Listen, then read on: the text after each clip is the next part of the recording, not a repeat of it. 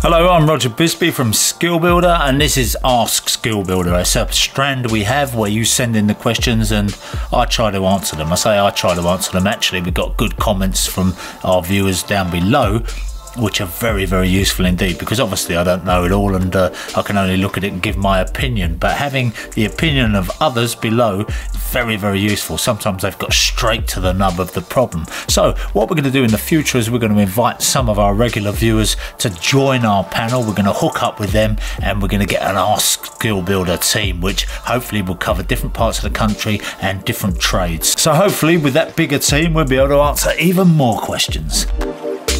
Here's a question from Tom Barry, and Tom says he had British Gas out to service his boiler. They were there for less than 15 minutes, and he said then the next day the pressure had dropped, and he topped the pressure up, and he found there was a small leak under the pump on the boiler. But also, more concerning, is that he found all this rubbish in the bottom of the heat exchanger, and he said, rightly or wrongly, I opened it up. Well, it's his boiler, it's his house, you know. You're actually allowed to do that, believe it or not, uh, under the law, if you, you want to do DIY gas installations if you're competent, but not a great idea generally. But Anyway, he opened it up, and what he found in there was just a load of crud. He said he found rocks in there. Well, what that is, is that's all coming off the condensate, and it seems to be reacting with the aluminium heat exchanger in this case. It does need a good old clean out like he's done. What I've found over the years, we've got what we now call a, a, flue gas analyzer, which is a probe that they stick in the end of the flue, or they can do it from inside. What they do is they come around, they just take a reading, and if it's within parameters, if it's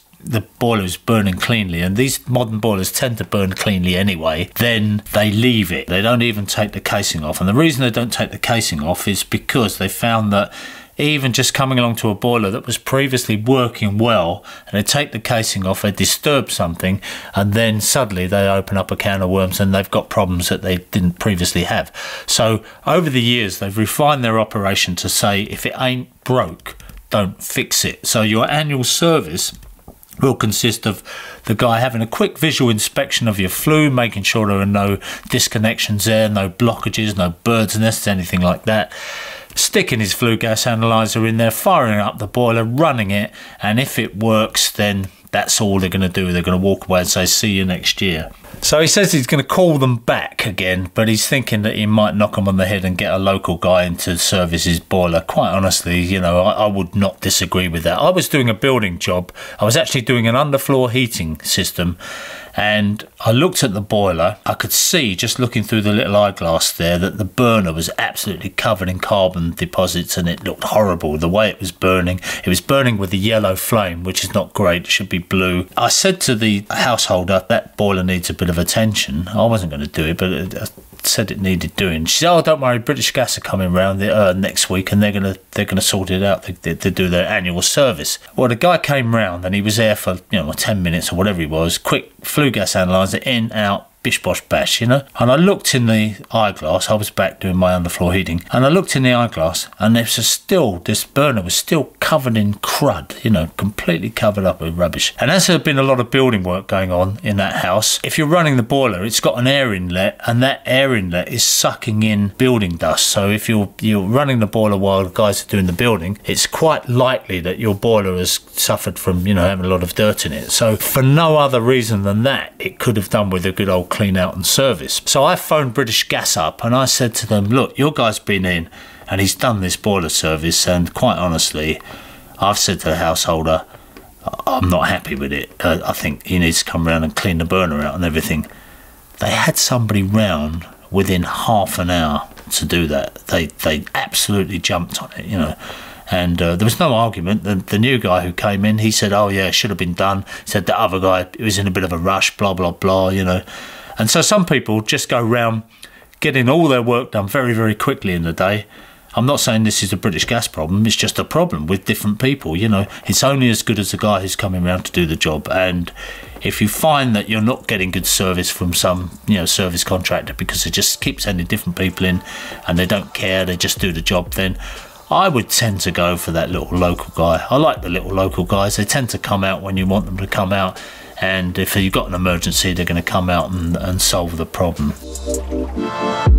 Uh, this one's from Jane, and Jane says that she's had an extension built and it's all finished, uh, but she said that even though they've got big bifold doors, she said the bit of the house which was previously had a window in it, now hasn't because they've extended out. And she said it's very dark in that room and they just can't get used to how dark it is. She thought the bifold doors would put a bit more light in than they actually do. And uh, she's almost regretting the fact that she's had the extension because she said it, this whole area in the middle of the house now is almost unusable. It's just depressing to be in it. This is an age old problem, Jane. I mean, it is. The, the thing you need to know about light, or you don't need to know about light, but I always think is interesting, is that when you double the distance, you quarter the amount of light. It's what they call an inverse square.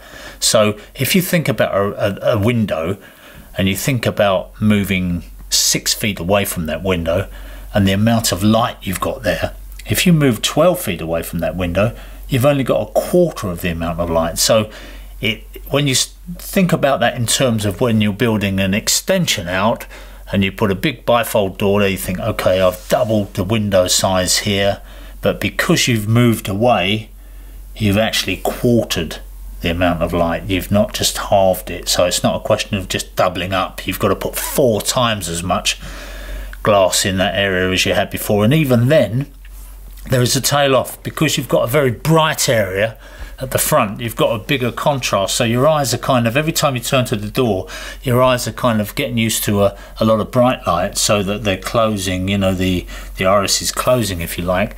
And so when you turn back into the bit of dark room your eyes have to adjust to the darkness if that makes sense. So it's one of those things that you're almost better off having an even light which is all dark or a or all light than you are having this this big contrast you know because we're not good at coping with the contrast really. You know we haven't got a high enough dynamic range in our eye eyesight to cope with it. So what what I'd say is you can get a Sunlite. If, if there's any way that you can fit we've got a video on the Keylite Sunlite which is a brilliant idea which is just a tube which brings light into the building. Now they work amazingly well. You'd be really, really pleased and surprised at how well they do work.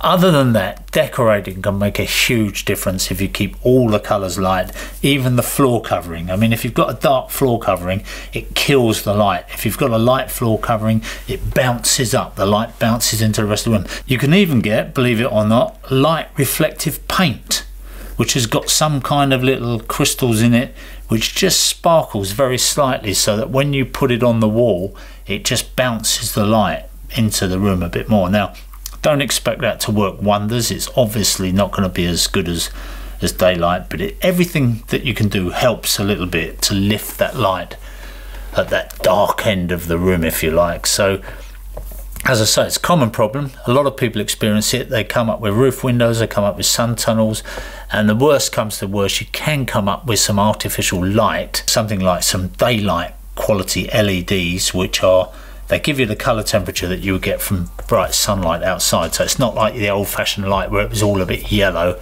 You've got a nice bright white light in the room and if you put that behind a little bit of a glass panel or something it can look like a window and I know that's not an ideal solution but it's better than living your life in darkness.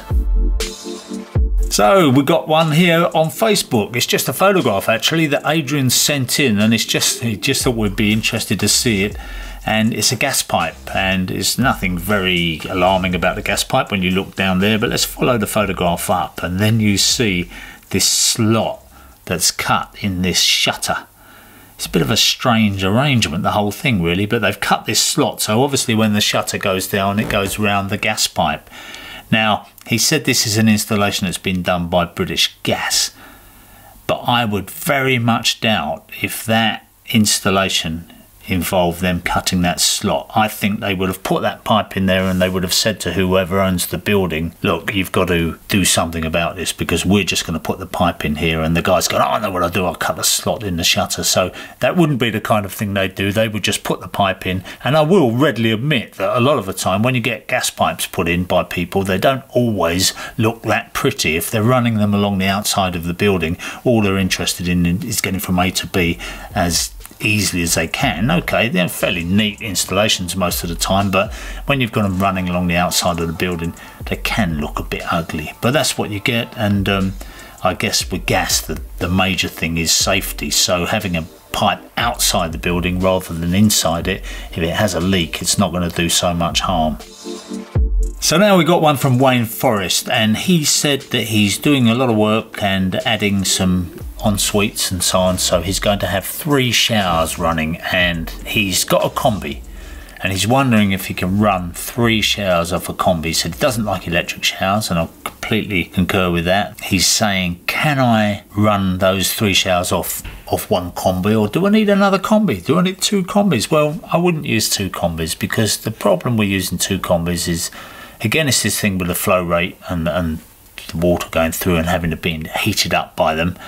But also, it's a lot of overkill because combis in themselves are quite powerful. You know, they they they're actually they produce quite a lot of output. The question we're asking is are those three showers going to be used at the same time? If you would say yes, if everyone's getting up at the same time in the morning and they're all jumping in the shower at the same time, then I think the way round it, the way I would do it, and the way, again, I've done it at my daughter's house, what it is is a thermal store. Now you get a thermal store, you can actually get a small one. It's not a big cylinder, but what that does is it gives you a preheat on the water coming through the combis. So if you put a thermal store in, the initial bit of water that's coming out of the tap for about the first 10 minutes is going to be preheated and that does give the thermal store a chance to replenish itself in that time as well so that's quite useful. You basically plumb the combi up as if it was a conventional boiler i.e. with a motorized valve and a cylinder so that you put some water through into this little thermal store and then out of that you run you have a coil inside that and the water that's going into the combi runs through the thermal store first to, to be heated up so it's got a heat exchanger in it. But anyway saves you having another combi doesn't take up so much room. In fact those thermal stores you can put them in a very very small space. If you've just got somewhere at the back of some kitchen units or even above the boiler you can you can put one of those in. And this one uh, this comes from a, a builder. He doesn't want to give his name. And he's having a bit of a go at me actually. He's saying, how come you're a tradesman and you're giving all these people DIY advice and you're putting us out of work and blah blah blah. You know, he's, he's, he's, I've heard this before, quite honestly. I've been involved all my career in helping DIYers. Um, when I used to go and help people that had come unstuck on their plumbing job, maybe five o'clock on a Saturday afternoon, they'd be phoning up, you know, when the merchants were closed and they got no water and they couldn't fix the problem. You know, they maybe started to install their own bathroom suite and come unstuck. Now, you could go around and say, hard luck, mate, you know, you shouldn't have done it, you should have called a plumber in, I'm going to punish you now by charging you a lot of money. Or you can take the opposite view that we all do a little bit of DIY. I mean, I you know, cut my own lawn, do my own bit of gardening, clean my own windows. You know, there's things that we do in life. I even change my own light bulbs. How about that? Don't call an electrician in to do that. So, you know, there are varying degrees of DIY and it's not going to go away. And I think we can live happily side by side with DIYers and there's no need to, to ridicule them. Now, I have known in the past some DIYers who have done absolutely superb jobs. One of them is a cameraman that we use, Juby. He can turn his hand to anything. Quite honestly, he's a cameraman. He's never been formally taught how to do anything, but you just show him how to do something rendering, plastering, bricklaying, carpentry, whatever it is, he does it superbly because his attitude is, I'm going to do this perfectly. So it doesn't necessarily matter whether you're being paid or whether you're not being paid or whether you're doing it as a hobby or whether you're doing it for a living the important thing is if your attitude is right, if you get the information, and uh, YouTube's fantastic for that now, you can get good information on YouTube and you can look at it and you can tackle a job. So long as your attitude is right, you're not trying to cut corners. And I would say to anybody, if you're embarking on DIY, the one thing you mustn't do is give yourself a time limit. You mustn't go into it thinking, I'm going to do this room up, we've got a weekend to do it. Now, all those programs on the television like Changing Rooms and loads of other programs like that where they did these makeovers in no time or you know DIY SOS where they get a huge team of people in to do the job to get it turned around. They build unrealistic expectations in people of what can be achieved in what time. You've got to reckon that if you're embarking on a job like putting a new bathroom suite in you're not going to get it done in a weekend you're probably not going to do it in a month. And so for some people, that's unacceptable. If you've got a room that's out of out of action for a, a, that kind of time, you, you probably don't want to do it, especially if it's a kitchen or something like that. But if you've got a project, you're quite happy to spend the time doing it, you're relaxed about it, you don't try and rush it, and there's no reason why you shouldn't make a superb job of it. So I'm not going to buy it that uh, I'm some kind of traitor encouraging people to do their own job. I don't encourage them. I just say if you're going to do it, if you want to do it, then we'll help you.